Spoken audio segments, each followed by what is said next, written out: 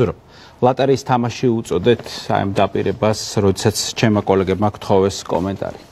თქვენს დღის წესრიგს, თქვენი პარტიის დღის წესრიგს თუ შეცვლის მისი ჩამოსვლა.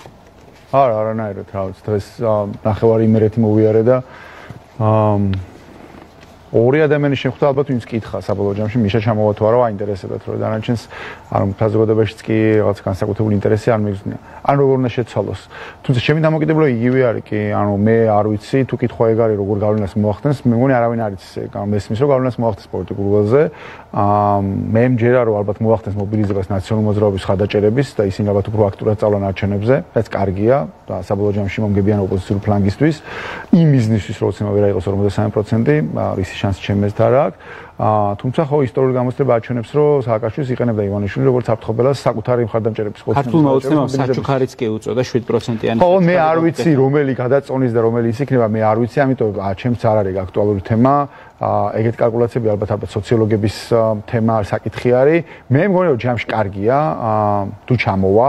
დამთავრდება მათ შორის. ანუ ივანიშვილს აქვს ძალიან ცოტა კარტები სათამაშო დარჩენილი ხო? რაღაც ფულს ხარჯავს სუს იყავს ხალხს აშინებს რა ვიცი რაღაც ზიზღის კამპანიას ქოქავს და პლუს რაღაც სააკაშვილს იყენებს როგორც საფრთხობელას უკვე ამდენი წერა 9 წელია.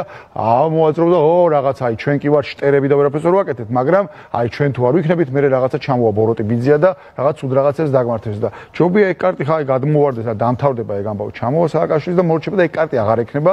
მინიმუმ შემდეგ რაღაცა ამბავში რაც იქნება შემდეგი ამბავი პოლიტიკურ პროცესში როგორც გაგრძელდება, იქ ეკარტივანიშვილის ხელში აღარ ექნება და ამ თვალს კარგი სხვა ხა რა უნდა რა როგორ უნდა შეცვალოს ის წესრიგი არ ვიცი. აუ ამბავი არის ის რომ 2 ოქტომბრის არჩევნები არის ძალიან მნიშვნელოვანი არჩევნები, ყველამ გაიგო და სადაც კი დავდივარ, ყოველას გაგებული აქვს რომ ეს არის ლეგიტიმაციის ტესტი ამ თავრობისთვის, ყველამ იცის რომ დიდი შანსია ძალიან მაღალი ალბათობით ისინი 40%-საც ვერ აიღებენ, რაც ის რომ მომოაწეს ეს ქვეყანა გავა ხელახალ არჩევნებზე. ხელახალ არჩევნებზე რომ გავალთ, მე ყველა ვარიანტი ამ ქვეყანაში იქნება კოალიციური მთავრობა. აი როგორ გავა? ბატონო ყველა პოლიტიკოსი მოდის ამ ჩამოვწევთ რაღაცა პარტიები, მაგრამ მე ვუყოთ იმის მინდა რომ ჩვენს გარდა, ვინც ახლა შეთანხმება გაქვს თბილისში, ჩვენს გარდაც პარტიები რო უსინოთ მაგათაც რაზე ლაპარაკობს ლელოს, ხაზარაძე ან ჯაფარიძე, ან სხვა პარტიების ლიდერები, ისინიც ლაპარაკობენ იგივეზე. შეიძლება რაღაცა შეთანხმებაზე ხელი არ გვაქვს მოწერი, მაგრამ ყველა ლაპარაკობს იმაზე, რომ ამ ქვეყნის განვითარების გზა გადის კოალიციურ მართლობაზე. ყველა მაგაზე ლაპარაკობს. მათ შორის ხო, სალომე ზურაბიშვილიც კი. აი, მინდა გთხოვოთ რომ აუ ამიხსნათ მე და მაყურებელს პირველ რიგში. აი როგორ აპირებს? ყველა სამ სამწუხაროს და მე შესაბამისად ყველა პოლიტიკოს ბატონ ნიკას როგორ გავალთ? ახლა ჩერას დაუსვე ეს კითხვა. როგორ აი როგორ ხდება იძულება ხელისუფლების მართველი გუნდის რომ მან დანიშნოს ეს რიგარი პირველი კითხვა არის ფორმულა თუ არსებობს? იგი პირველი კითხვა არის რომ იძულება საჭირო გახდება თუ არა იმიტომ რომ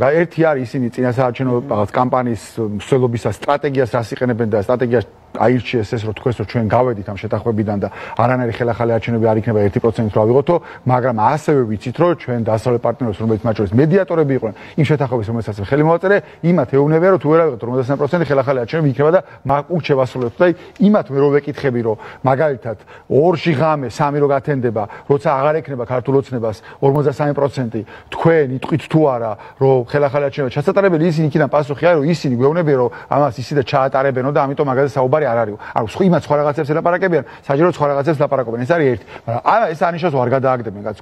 გადამგდებები არიან, ბერჯერ გადაუგდია და ეხა შეიძლება ითავხედონ და გადააგდონ. ამის შემდეგ გვექნება რეალობა, როცა მე და ელენე და ნიკა კი არა, თქვენც მათ შორის და ნებისმიერ ამ ქვეყნის მოქალაქემ უნდა მიხვდეს, რომ გაიაზროს, რომ სინამდვილეში 50% თუ ვერ აიღეს, 50% რატო ჩაიწერა? იყო ლეგიტიმაციის ტესტი. ჩვენ ყველა ვერ შევთანხმდით შაშანდელი არჩევნების შედეგები ლეგიტიმური იყო თუ არ იყო. ამის გამო უცხოელებმა ჩვენმა მეგობრებმა ჩაწერეს, რომ ამაზე ვერ შეთანხმდნენ ხარეებიო და ამიტომ ტესტი ჩაიდო 53%-ო თუ ვერ აიღებენ 53%-ო ესე იგი მთავრობა არ არის ლეგიტიმურიო ა თქვენს გეყოლებათ არ ლეგიტიმურია. თუმცა მართლმა ყველა საქმის ანულირება მაგას მნიშვნელობა არ აქვს. ხელი ხომ მოაწერეს იმაზე რომ თუ 53% ვერ აიღებენ. ლეგიტიმური მთავრობა არ აყავს. ა თქვენთვისაც არა ლეგიტიმური ხდება ყველასთვის. მათ შორის ამერიკელებისთვისაც და ევროპელებისთვისაც და მაგ შემთხვევაში იგივე კითხვა შემიძლია მე დაგისვა თქვენ როგორ იქცევა ადამიანი მოქალაქე როდესაც მას ყავს უზურპატორი ხელისუფლება და ძალით არ მით არ თმოზალა უფლებას თქვენ რას გააკეთებ? მე გავაკეთებ ვაკეთებ ყველაფერს. ყველაფერს ცხოვრება გაუმწარო და არ მივცე საშუალება, რომ გააგზავნო ქვეყნის მართვა, ისე თვითონ არაფერი არ მომხდარა და მოვიფიქრებ მილიონ რამეს. ბატონ ზურა, არგუმენტი შეიძლება ეს დავაზუსტებ რა.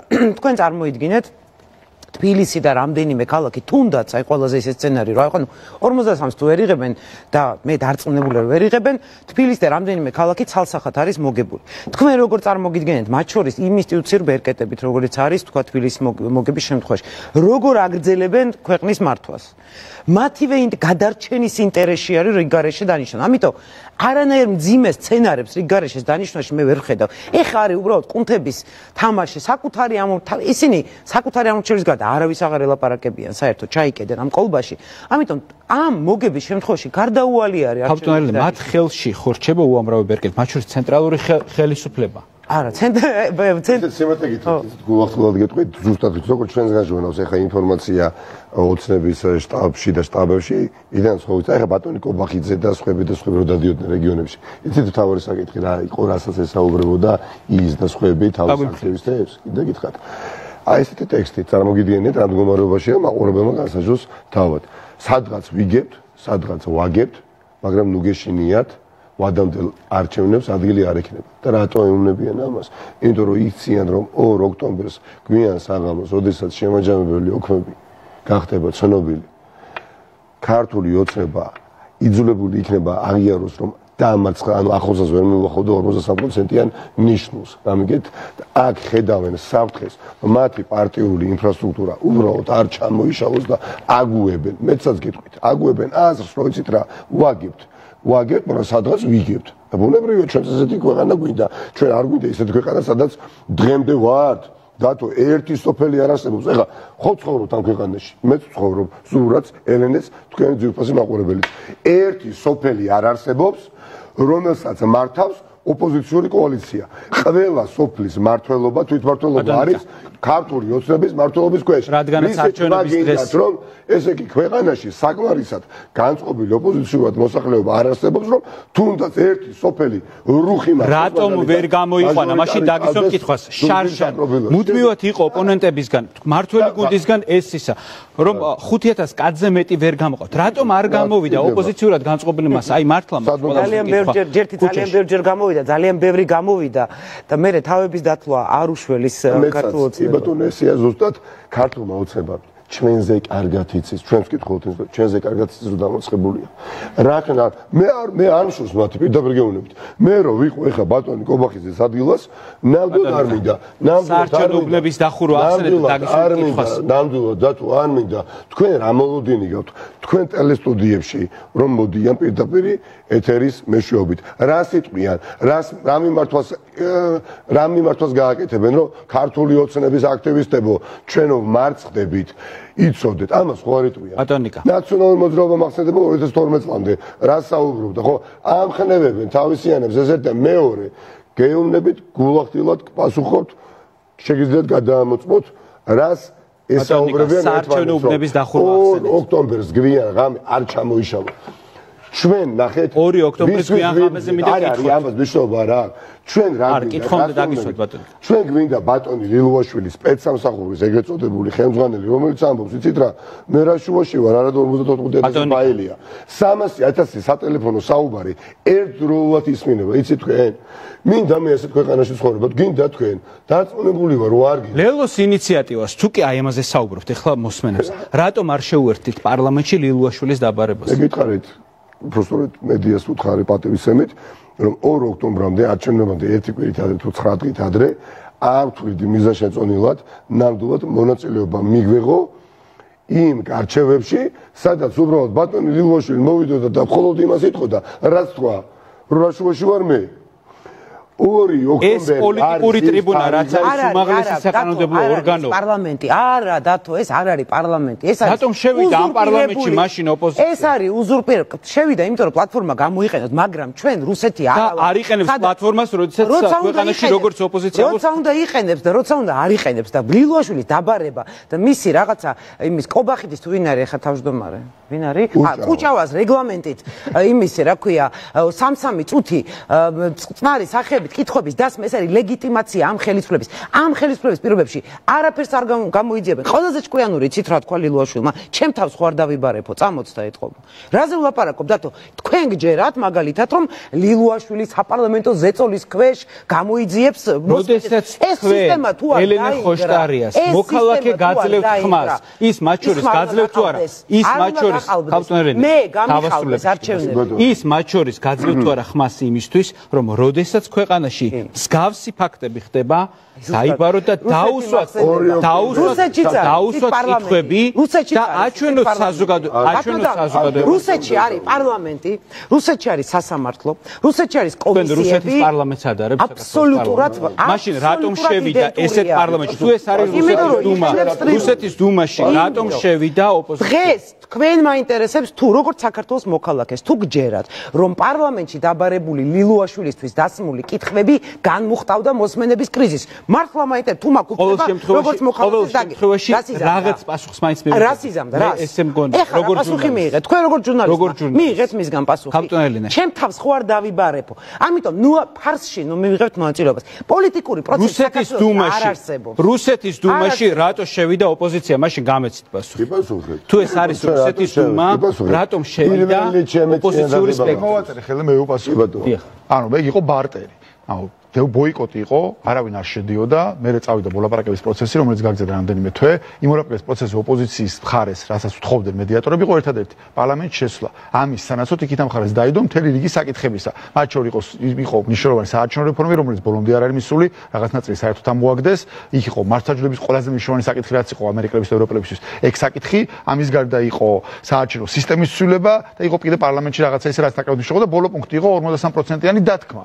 და ამაში გაიცვალა პარლამენტში შესვლა. ოღონდ მე ქართულოსმა მოყვა და ყველა პუნქტი სათითაო დაარღვია და ბოლოს ხოლოს საერთოდ გავედი ამ შეთანხმებიდან. ანუ პარლამენტში რუსეთის დუმის პარლამენტში შესვლა იყო გამის. აუს როდესაც შეხვედით? მე არ შესვლა საერთოდ. მე შევედი, იმიტომ რომ პოლიტპატრონები გამოსულიყვნენ, სულ არ ორჯერ ერთ ბატონო ფიშე ბოდიში რუსეთის დუმა რატო ჩაიხო ვერ ხვდები? რუსეთის არა იმიტომ რომ კითხვა იყო რუსეთის პარლამენტში არსებობს ეს რუსეთის დუმის არცი იცით რა ბოდიში მითქვი ანუ აზრი რა იყო? მაშინაც ჩვენი დასავლი პარტნიორები ეხლა დამთავრდა ეს ამბავი, მაშინაც გეუბნებოდე რომ შედითო და ინსტიტუტების გამოყენებით გააგრძელებთ ზოლაო, მაგრამ ამ სუსის ამბების შემდეგ იმათვისაც და ნებისმიერ ადამიანის გასაგებია რომ პარლამენტი პარლამენტი არ არის, პრემიერ-მინისტრი პრემიერ-მინისტრი არ არის, რაც ისე ჩვენთვის ცნობილი იყო. ჩვენ ამას ვეუბნებოდით, მაგრამ მათ მაინც ჯეროდათ რომ ამ ფორმულების უკან რაღაცა მაინც იდგა. ეხლა გაიყვა რომ მთელი ქვეყანა იმართება მოდულის შენობიდან, აი ლილუაშვილს ვლაპარაკობთ, ეს ადამიანები სათავეში სისტემის, რომელიც ქვეყანას იმითი კი არ ქვეყანას ინსტიტუტები კი არ მართავენ. მართავს უცხება რომელმაც იცის თქვენზე, ელენეზე, ჩემზე, ნიკაზე და ყველაზე სათითაოდ ნებისმიერ ადამიანზე რომელიც არის საზოგადოებრივ აქტიური, რაღაცა პოზიციას გამოცხოს, რომელსაც შეიძლება გავლენა ქონდეს საზოგადოებრივ აზრზე, ან პოტენციურად შეიძლება ეგეთი გახდეს. ყველაზე არსებობს დოსიები, როგორც საბჭოთა კავშირში ან ნაცისტურ გერმანიაში ან აღმოსავლეთ გერმანიაში, შტაზში და ქვეყანა იმართება ესე, რომ თქვენ თუ უნდათ რაღაცა გაგაკეთებინონ, ან რაღაცას დაგაშანტაჟებენ, ან ფულს მოგწევენ, რაღაცას გიზავენ, ესე მართავენ ყველაფერს. ყველაფერს ამ ქვეყანაში არც პარლამენტს აქვს შინაარს, არც მთავრობას, არც აუდიტის სამსახურს და არც კონკურენციის სააგენტოს. არაფერ შინაარსი აღარ აქვს და ეს იციან ყველა. ვერც ერთი დასავლელი მეგობარი ჩემთან ვეღარ მოდის ახლა და ვეღარ მეუნება რომ ინსტიტუტების გამოყენებით გააგრძელებ ზოლაო. ვერა. რას გეუბნებიან ვერაფერს აღარ მეუნებიან. საერთოდ ვერაფერს აღარ მეუნებიან. ბატონ ნიკა ეუთო ოდირმა და სხვა საერთაშორისო დამკვირვებლებმა თუ აღიარეს ეს არჩევნები თქვენ როგორც ოპოზიციის ერთ-ერთი ლიდერი დებთ პირობას რომ აღიარებთ ამ არჩევნების შედეგებს ჩვენ ნახოთ რას დადებენ. მე ამ წუთში მე მათთან პრეტენზიებით მოძრაობ, მათ შორის შეხვედრები როცა მაქვს, პრეტენზიები მაქვს კონკრეტული. მათ შორის ნაწილი რაც ახლა ელენე მილაპარაკა, მე არ მგონია რომ ეხლა რაც არის წინა საარჩევნო გარემო, ამას ისინი ახლა ამ წუთში ადეკვატურად აფასებდნენ და ადეკვატური რეაქცია ჰქონდათ. და კი, ამისი ნაწილი არის, რაც მოხდა დმანიშში, მომდის დმანიშში რაც მოხდა რომ ადამიანს ერთ ადამიანს სახე გადაუჩეხეს თლიანად და მეორეს გაუჭრეს და მხევის ხელზეული ნაკვეთი შეიძლება ქონდა. ეგ არ არის მარტო დმანისის ამბავი, ეგ გავლენას ახდენს თლიანად საარჩევნო გარემოზე. ამ ქვეყანაში დღეს პანდემიის და სუსის დაშინების გამო ისედაც პრობლემაა, რომ პოლიტიკოსი წავიდეს სადმე რეგიონში და ადამიანებს შეხვდეს. ისედაც შეშინებულია ხალხი. როცა ეს ხალხი მათ შორის არის ჩემი ხადამჭერი, ნეც ხადაჭერი, ნიკაც ხადაჭერი, სხვა პარტიის ხადაჭერი, ხედავს, რომ შეიძლება შეხვედრაზე მოვიდეს პარტიულ ლიდერთან და ამის გამო სახე გადაუხსნა, აქედან ბოლომდე ცხადე ისინი აღარ გამოვლენ. ეს ნიშნავს, რომ არც მე და არც ერთ პოლიტიკოს ამ ქვეყანაში ოპოზიცია პოლიტიკოს გულისხმობ, არ აქვს ნორმალური გარემო ადამიანთან კომუნიკაცია ქონდეს, მათ შორის პირ. თქვენ შესაძლოა არ აღიაროთ. ეს დავასრულებ. ეს არის ერთი ამბავი, რომ ძალადობის ამბავი არ არის მარტო დმანის ამბავი და გარემოზეა გავლენა და ეს არის ნორმალური გარემო და შეუძლებელია შეფასო როგორც ნორმალური გარემო. მეორე არის ის, რომ კი არჩევნებს ამ ქვეყანაში ატარებს სუსი, მათ შორის ამ ჩანაწების გაჟონვალზე გაჩვენა, რომ სინამდვილეში ხა არჩევნებს ატარებს სუსი და ცესკო უბრალოდ რიცხვებს აფორმებს იმაზე. და ეგ შეუძლებელია, როცა ქვეყანაში იცი და მათ შორის დიპლომატებმა საკუთარ ტყავზე იგზნეს, რომ იმათაც კი უსმენენ.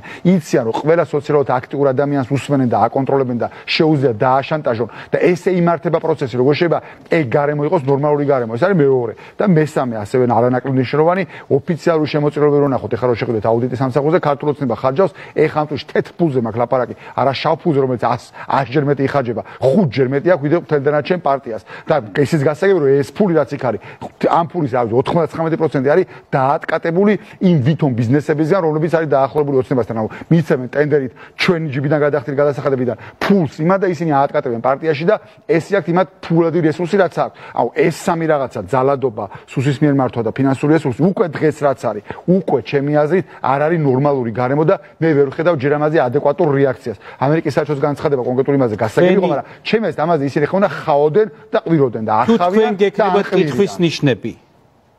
ჯერ მაგ იმათა პრეტენზიები. მოვიდეს არჩენები ჩატარეს არჩენები ნახოთ რას დაწერენ რას გააკეთებენ და მე რეგავცე მაგითხოზე პასუხს. ეხლა რატო უნდა იმ შემთხვევაში ეხლა ამ წუთში შემიძლია გითხრათ რომ ეხლა ამ წუთში ვარ უკმაყოფილო და ესეთი პრეტენზიებით მოძრაობ. მათთან იმიტომ რომ არ მგონია რომ მათი რეაქცია იყოს ადეკვატური დღეს შექმნილი რეალობის. ამ სამი ისე ვიქნებით ბატონო მე უბრალოდ თუ ისე აი ამ პრეტენზიები დავში ბოლომდე და ისე არაადეკვატური რეაქცია გამოვალ და როგორც ეხლა ვიზახი ისე ვიტყვი რომ ეს არის არაადეკვატური შეფასება.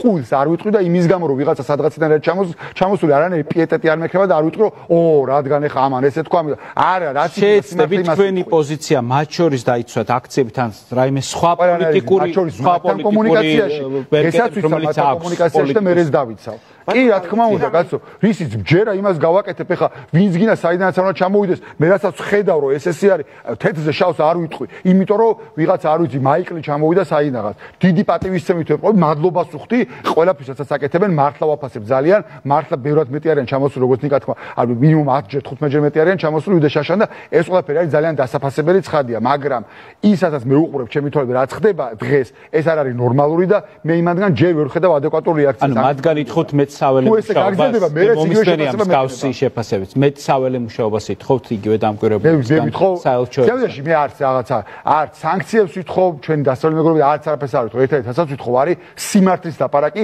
შელამაზების garaშე ყოველთვის ერთადერთი რაც მინდა არის რომ სიმართლე რაც არის ის თქვა მეც არაფერს არ ვითხოვ საერთოდ. სიმართლის დაპარაკი მათი მხრიდან ახდენს პრინციპულ გავლენას ამ ქვეყანაში მათ შორის ევთოდირმა შეიძლება შეალამაზოს ერთ-ერთ ოპოზიციონერ პოლიტიკოს ჩვენ დასავლელი მეგობრები დღემდე ჩემი აზრით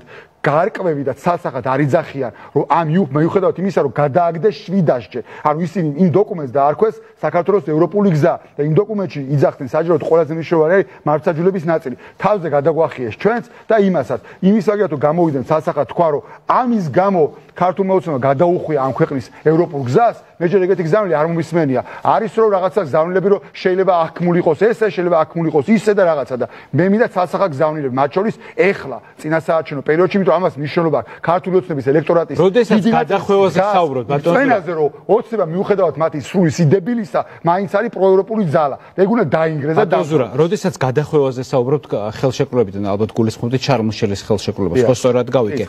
თქვენ როდესაც პარლამენტს ტოვებდით, თქვით შემდეგი რა, მე ვტოვებ პარლამენტს, პარლამენტში ყოფნა იყო 19 აპრილის შეთანხმებაზე ხელმოწერით, ჩემს მიერ აღებული ვალდებულება, არ არსებობს შეთანხმება, არ არსებობს ვალდებულება.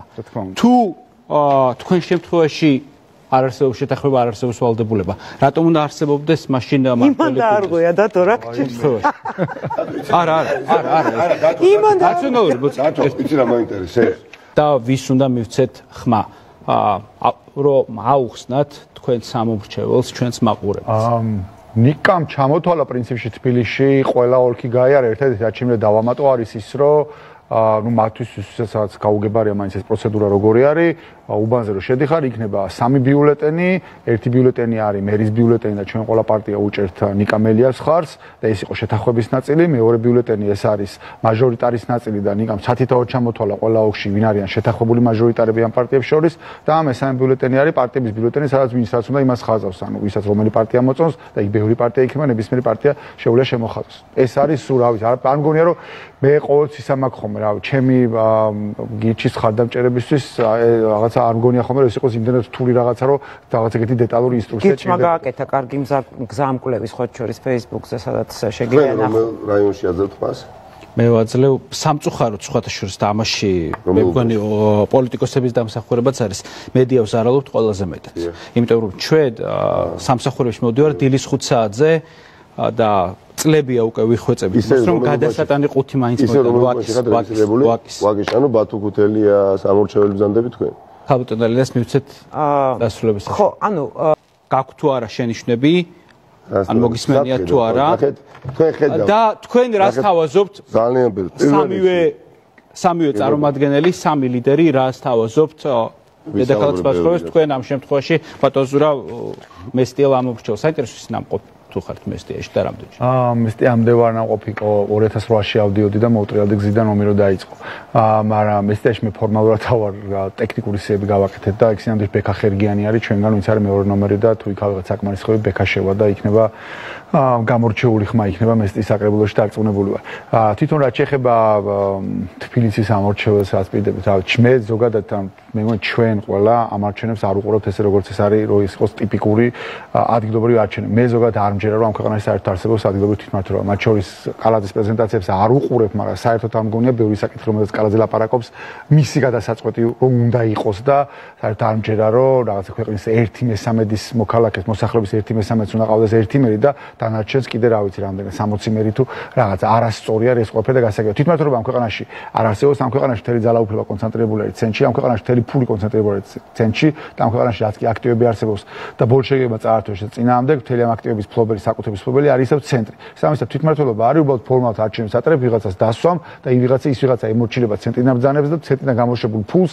ანაწილებს რაღაცა იმაზე შიდა პარტიულ სტრუქტურებს. ეს არის დღეს საქართველოს თვითმმართველობა და ხო კი რაღაცა გზების დაკება და კანალიზაციის გაყვანა რაღაცა სადღაც სადღაც ვისწავლეთ. მაგრამ თვითმმართველობა ეგ არის. თუ თვითმმართველობა გინდა რომ მართლა კონდეს და თვითმმართველობა მართლა მნიშვნელოვანი, მაშინ მნიშვნელოვანი ზედაც ჩვენ ლაპარაკობთ.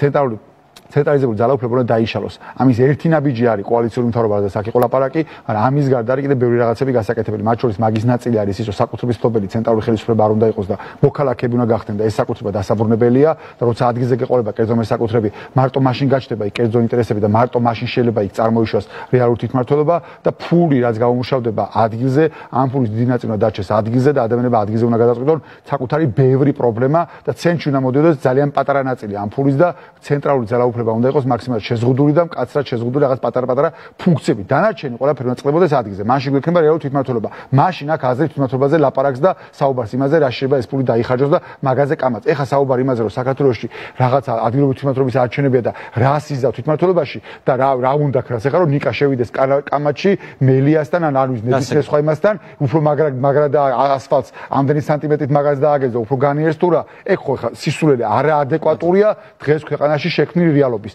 ჭაობში ვართ, ვიზირებით და ამარჩენებზე თუ ხელისუფლება არ შევცვალეთ, იქიდან მე მოტრიალება დაგვიждდება ბევრად, ბევრად უფრო ძვირი. მადლობა.